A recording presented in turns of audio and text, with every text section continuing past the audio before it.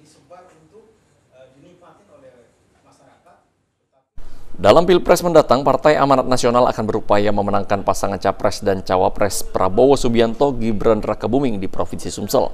Bahkan Wakil Ketua Umum Dewan Pimpinan Pusat PAN Ahmad Hafiz Tohir, Partai Amanat Nasional optimis dan akan menargetkan pasangan Prabowo Gibran mendapatkan 70% suara di wilayah Sumatera Selatan.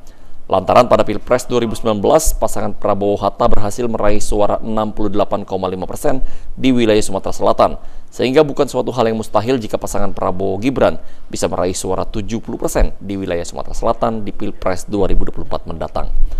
Izin Pak untuk uh, target dari PAN sendiri untuk capres Prabowo Subianto di Sumsel ini ada target nggak? Ya targetnya 70 persen. 70 persen. 70 persen Prabowo Gibran dan kita sudah berhasil membukukan Prabowo Hatta 68,5 persen. Jadi bukan suatu hal yang muluk uh, kalau Prabowo Gibran bisa 70 persen. Oke. Eki Saputra, Pal TV.